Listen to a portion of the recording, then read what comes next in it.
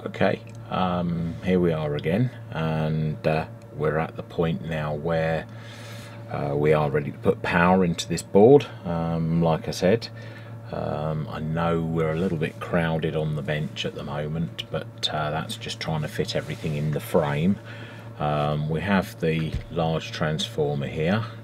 We have the uh, Banggood board here, which I've connected using these crocodile clip meters to the voltmeter. And obviously here are the pass transistors mounted on the big heatsink. Um, no forced cooling at this point because I haven't uh, connected any sort of load for it. Um, these are the voltage and current controls. This one's current, this one's voltage. So what I'm going to do first is uh, I'm just going to put the mains onto this transformer and uh, hopefully, uh, as you see, it's connected with uh, a pair of crocodile clips and uh, yes this is silicon wire so because it's under that heatsink I'm not worried about melting. Um, to the AC input here and obviously it'll go through the board and it will come down to here and we should read an output voltage and hopefully we'll be able to get somewhere between um, 0 and 30 volts which is what the board says it should be able to do. Um, when we did measure this transformer it was 26 volts off load so um, with any luck it should work. Uh, I've got the mains voltage set on this cable here with the uh, the multi-select switch to 240 volts as you can just see in the bottom of the frame there. And it's connected to the mains uh, directly with a plug uh, with a fuse in it obviously so I don't um, blow everything up if I go completely wrong. Um, I know these are polarized red and black but they're not actually because it's AC off the transformer. There's no rectification until it reaches the board here so I think the only thing left to do is switch it on and see what happens so ready for the flash, the bang, and let's go. Oh, right, we have power. Um, and we're reading 5 volts DC on the board. If I turn this one, it gives me up to 29 volts. And if I bring it back down,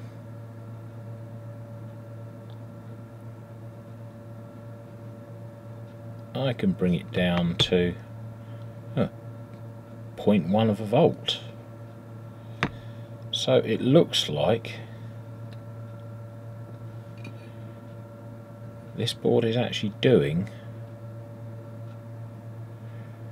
let's see how good it is at low end how controllable we are um, primarily for those times when I want to uh, say recharge a NiCad. Hmm. So one and a half volts. If I put a fine control in there, I should be able to do that. That's not too bad. Let's take it up. Let's see how accurate we can get 5 volts. Now bearing in mind this board isn't under load at the moment, there's uh, absolutely no heat on these transistors at all.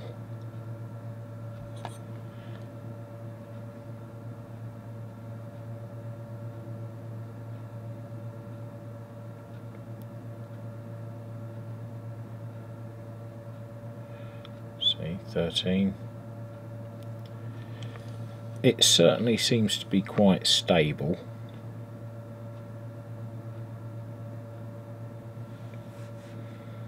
So yeah, all the way up to 30 volts. Now I have got a load that I can put on it, which is the uh, the old bench lights.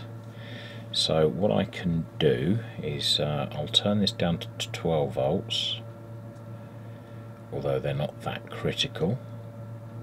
Now that's pretty accurate, I'm quite happy with that. And I can, let's see if I can uh, connect these as well using the same clips without shorting everything out. Right, so the bench lights have come on.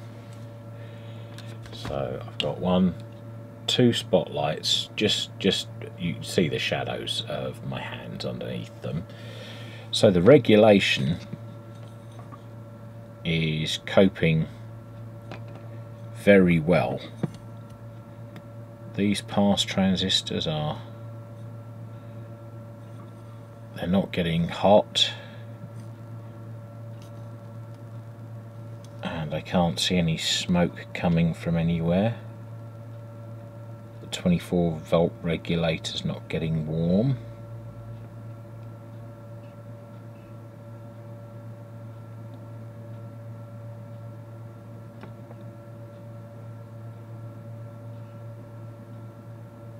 There's a little bit of heat on this uh, 47.47 ohm resistor.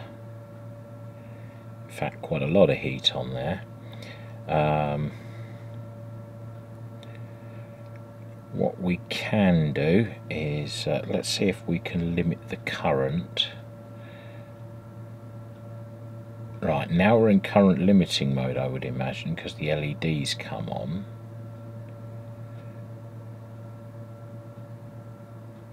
And the voltage is falling. And the lamps have gone out, which means obviously where you limit the current to a level. Um, now to measure current, let's take it all the way up to the top again. Um, I'm going to have to do some quick changes, so let's take that off of there. And that off of there. Um, we're going to need positive into there. Negative into there.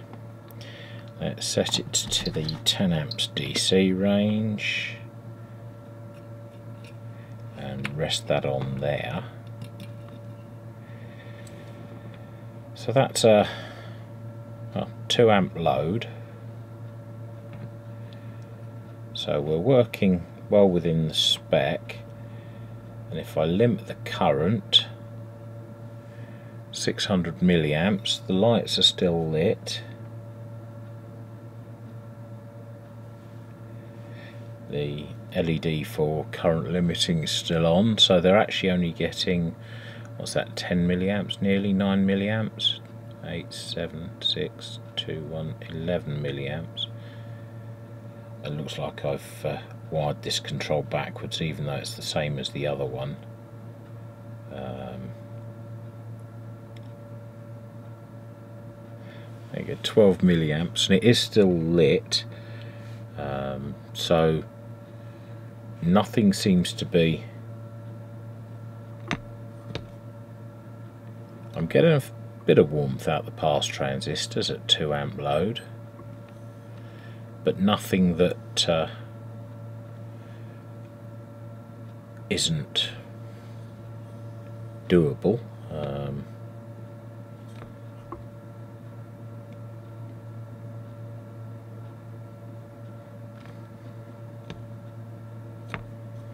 yeah yeah um, that's, that's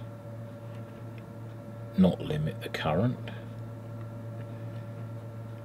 And uh, yeah the backup to 2 amps of draw which uh, I think is uh, pretty good.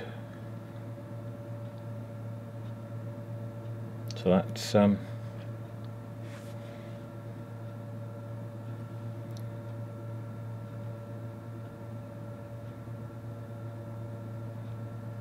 Yeah, that resistor is getting warm.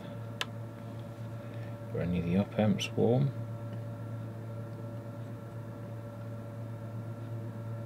Not that I can tell. I don't know if this adjuster here, which is maximum current limit, has been set. Uh, do I need a smaller one than that? I need a smaller one than that. Uh, now that's a Phillips one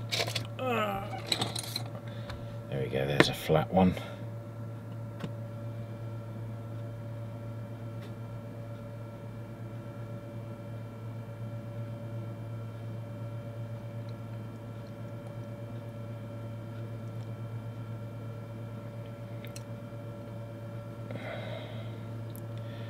This should be set to limit the actual maximum current that these could draw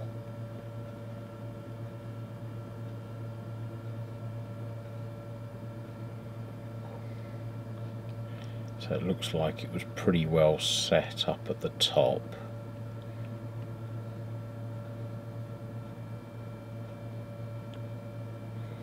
Bearing in mind that the board is only actually designed as a is a 3 amp power supply? So uh, yeah we need to crank this all the way to the top anyway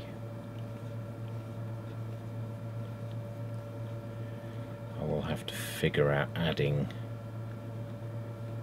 more of a load to this um, so anyway I think uh, as it stands we have a successful experiment there.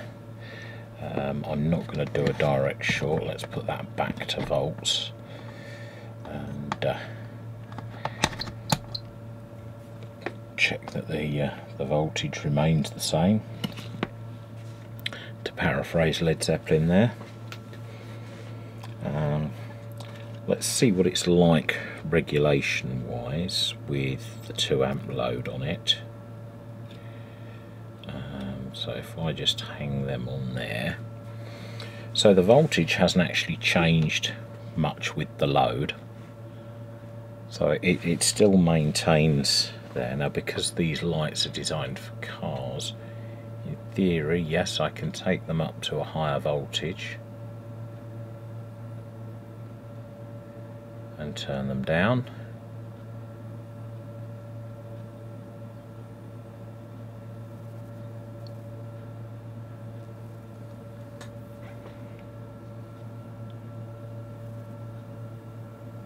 So that actually take the full voltage, but uh, how long for I wouldn't like to say. But yeah, as a regulated supply, I think that's not doing too bad as a bench supply. So now, now I have a dilemma. Do I wire this up as a single high current supply or do I turn it into a dual 3 amp, 5 amp power supply, dual 3 ampere and then bridge the connections if I need to? Hmm. Decisions, decisions. Um, Hmm, how easy would that be? I'm, I'm just having thoughts about uh, just checking the oscilloscope trace actually to see what the uh, the output looks like. Um, let me just turn my scope on. And let's connect the scope to the leads. because we can. Right, uh, press auto set. Um, I've got to say that's not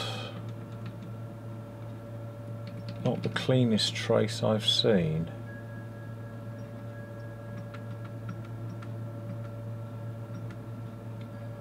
Um, DC voltage is there. Right, okay. Um, just to carry on from where we were, I've put the camera freehand, so you'll have to excuse uh, dodgy focusing and uh, movement while I um,